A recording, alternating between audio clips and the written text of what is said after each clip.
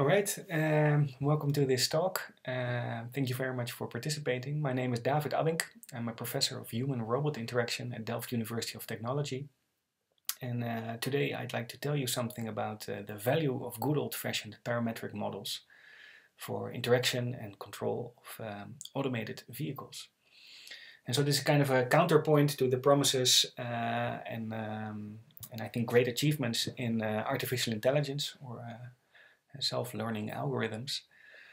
Um, it's basically a statistical approach. Um, and so, you know, in, in my field for a long time, we uh, actually used uh, and keep on using uh, kind of stubbornly uh, parametric models. And so what we do is we try to capture what is essential to drivers so that we can also predict uh, outside of situations that, uh, you know, we, we haven't gathered data for yet, so the edge cases.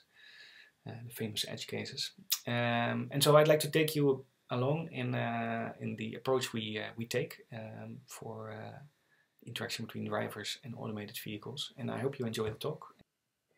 So, um, in my opinion, uh, as long as uh, the algorithms behind automated vehicles are not 100% perfect always, everywhere, and for everybody, um, in the interaction with humans, there might be a problem of alignment. Uh, and so um, you might say that uh, the algorithms here and the, you might call them algorithms here, um, might disagree.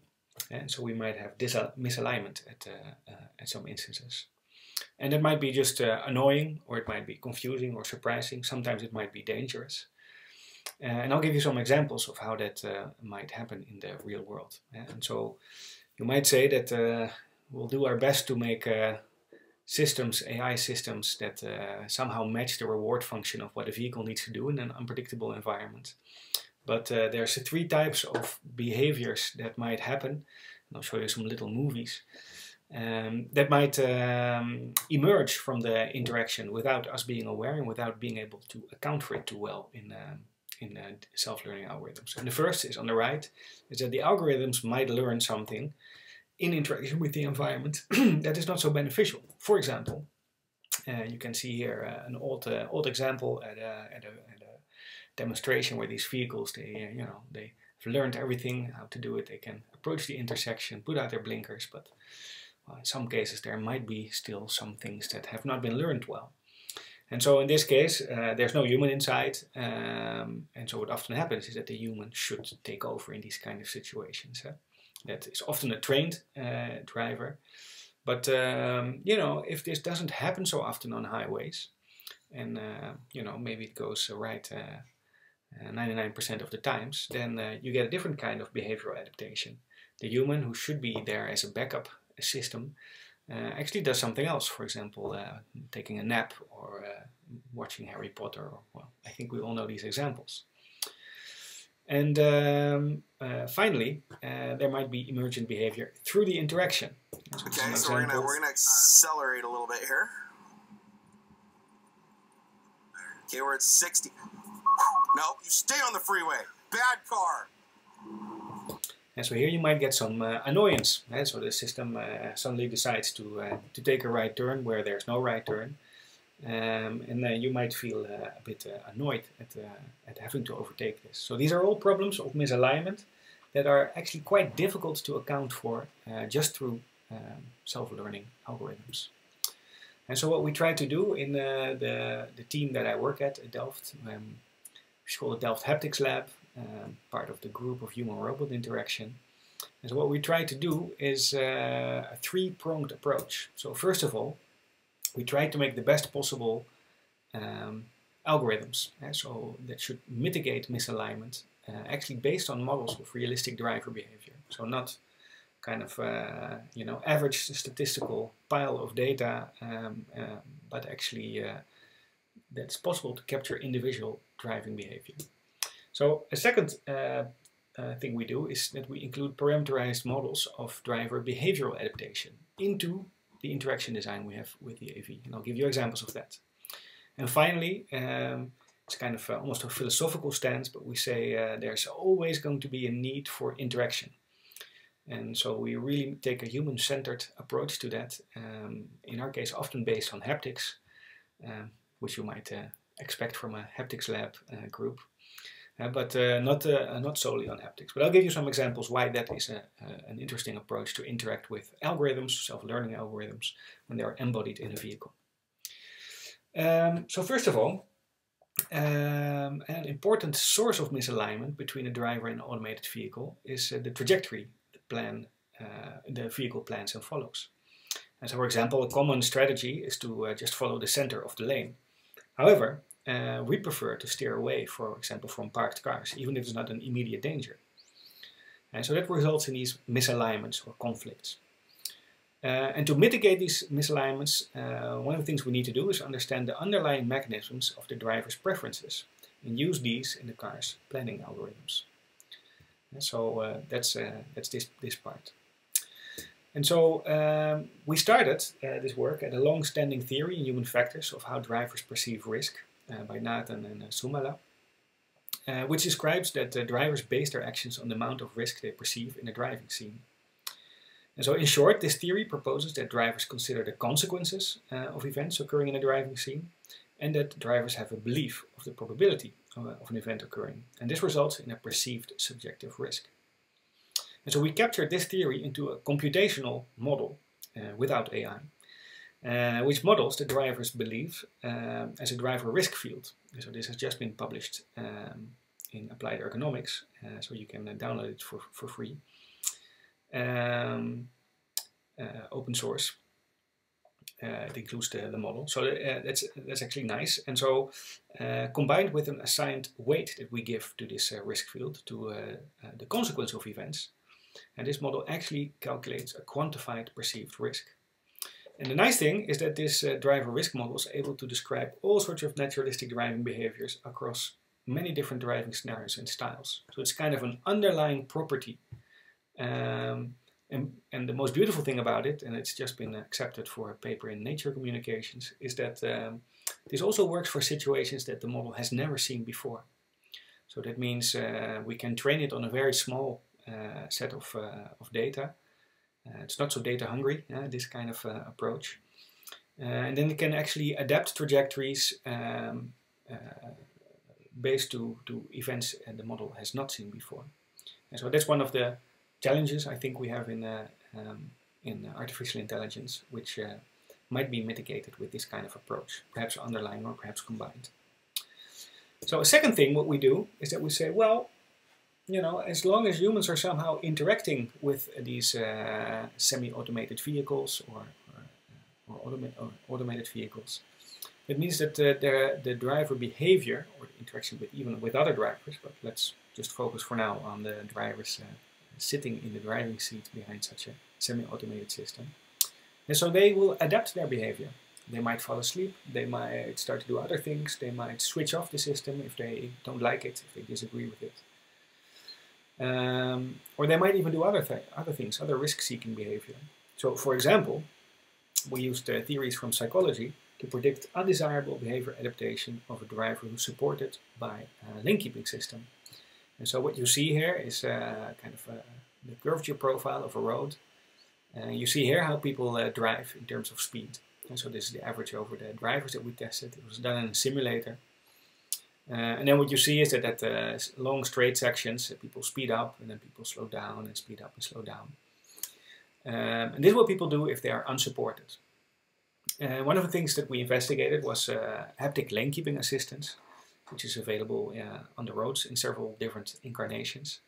And but what happens if we give this lane keeping assistance to uh, to uh, to drivers, and we don't tell them anything uh, different, what they do is they they will speed, and this is um, this might even be dangerous uh, in this uh, in this area here. And so that means um, why do they do that? Um, we call this emergent behavioral adaptation that comes uh, from the interaction design. And actually we examined behavioral adaptation theories from the human factors domain, where we tried to uh, replicate, replicate uh, three behavioral experiments into a senior study to actually see which of these theories might actually do a good job of predicting what drivers try to keep constant. And uh, interestingly, we just made a, a, very small adaptation in the design. We um, uh, by which we allowed actually to incorporate this in the interaction design um, so that actually the support diminishes somewhat uh, beyond the speed limit. And that means that uh, now what you see is that the speeding that uh, doesn't happen. And so people keep the same speeds. But at these speeds, they are supported by the lane keeping assistance system. So the safety margins, they are increased in this, uh, in this area. Uh, um, so the safety benefits are full, people do not speed, and that's because we included these kind of computational behavioral adaptation theories into the interaction design. And finally, um, as you might imagine, interaction design matters. So the way that we actually think about and actually uh, make the interaction design uh, really determines what kind of behavior you will see, what kind of emerging behavior you might see. And so one of the approaches, also uh, done by the study from uh, Timo Melman, is uh, shared control.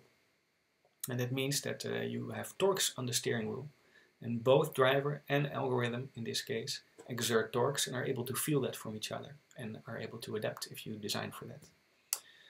So an alternative, which is uh, also on the market, um, is traded control. And so it means it's either the algorithm or the driver that is uh, in control.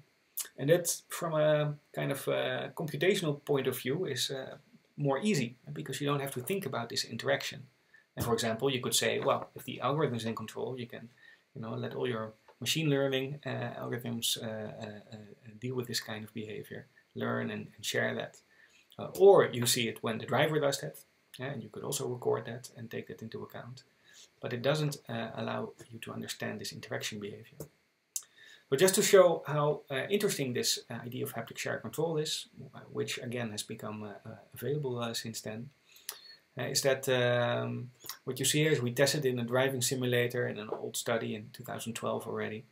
And then you see for three different types of, uh, uh, of participants, young and unexperienced, and young and experienced, and old and experienced. For all of them, the time to lane crossing, so the safety margins, how much time they have before they exit the lane, uh, increases somewhat, for some groups more than others. And the nice thing about that is it happens um, uh, for all groups. But if you look at well, how people behave unassisted, so you see that, for example, for this group, when they are assisted with shared control, they perform better. But this is actually done with very low torques. So if you let go of the steering wheel, you actually drive a little bit like a drunken driver, back and forth. And so it's an interesting, what you see here is that if you would do either the system or the human, and you'd be worse off in both cases. But if you think about the right kind of interaction design, you can do better in interaction than either of the two partners in isolation. And so um, that's how uh, you know share control compares to manual control. You can also look at how share control uh, compares to traded control uh, by this uh, uh, study from Frank Flemisch, one of my colleagues. Um, and there you can uh, see what happens just before the onset of a curve uh, if the system fails. And when people have been engaged all the time, shared control, those are the green lights, um, there's actually not so much effect. People feel it straight away that there's something odd and they can adapt very quickly with their neuromuscular system, which is you know how we also uh, make sure we stand upright when you know there's little perturbations in a bus or, uh, or on gravel or something. And so our body is smart, and, uh, and using haptics allows you to use that body. Now, if you don't have that, if you have traded control, then it might even take a while before people actually realize they're exiting the lane, and by that time they're too late. And so these were typically people engaged in a secondary task, uh, like, uh, I don't know, texting or something like this. And so even if you do shared control, uh, in one study um, that we did, uh, we actually looked at uh, increasing the, you might say, authority of the interaction algorithm and look at the joint system performance. And so we looked at uh, our, our kind of algorithms, shared control. We kind of increased the stiffness to make it even stronger. This is more or less the setting of, uh, of uh, Tesla systems um, around that. Or bandwidth uh, systems, which don't provide any feedback and only provide feedback at some point when um, you're very close to lane edge, for example. And so you can see that the more kind of guidance you give, um, the more you will go to the right. And so what we typically find is that the more support you give, that if you stay within the design boundaries of the autonomous system, so where it was actually designed to function well, then um, what we found is that um, the more you support at some point, the better the joint system performance is. And with joint system, I mean here the driver and the automation. Uh, but um, uh, if you do just such a, a test as uh, Frank Flemisch did here, which means uh, you look at what happens when the system fails unexpectedly, then what you see is that uh, yeah, if you don't provide that much feedback, then also nothing happens when um, your uh, when the system fails, eh, because you're used to being in control yourself all the time. And the interesting thing is that we found that the performance degraded um, yeah, uh, only at quite high settings of the shared control. So once again, this kind of, you know, small torque uh, setting uh, ensures that uh, you have some benefits together if this if everything works, so within the design boundaries. But if the system uh, fails, or when you're outside of the design boundaries, uh, it doesn't have such a detrimental effect, which is also what you see here.